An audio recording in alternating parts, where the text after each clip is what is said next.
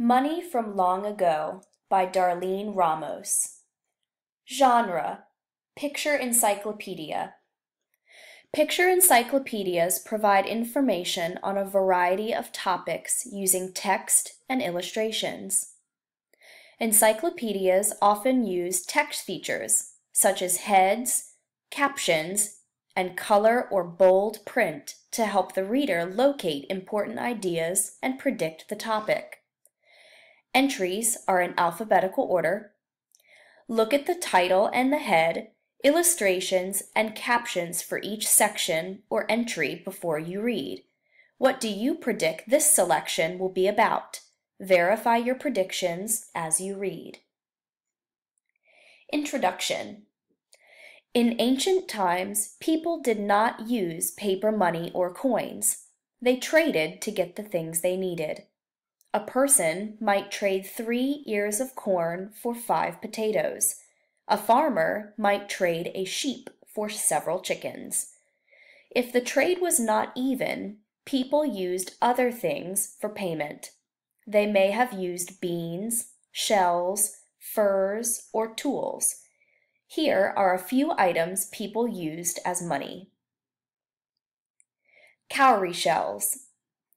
Cowries are small snails that live in the ocean. In ancient times, their shiny shells were used as money in China, India, and parts of Africa. The shells are one of the oldest forms of payment. Cowrie shells could be stored or worn. The color and size of the shell would set its price.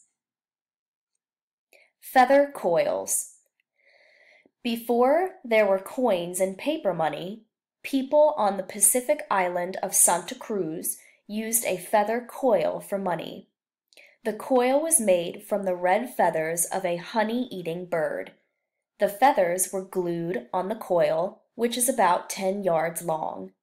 Red feather money was used in marriage contracts and to buy boats.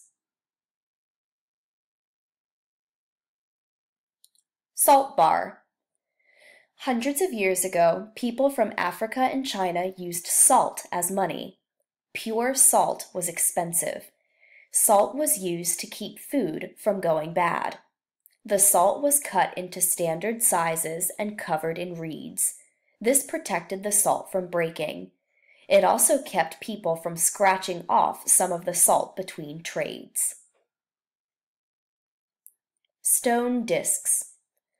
Long ago, people from Yap, an island in the Pacific, used large stone discs as money.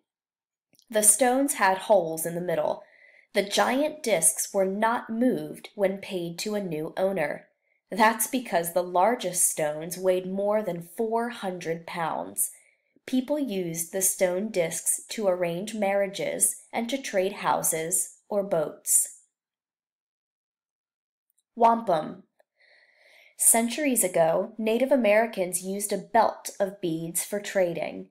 This wampum was made from clam shells that were smoothed into beads. Each belt was special. The bead maker used different colors and patterns. Wampum belts were also traded during peace agreements.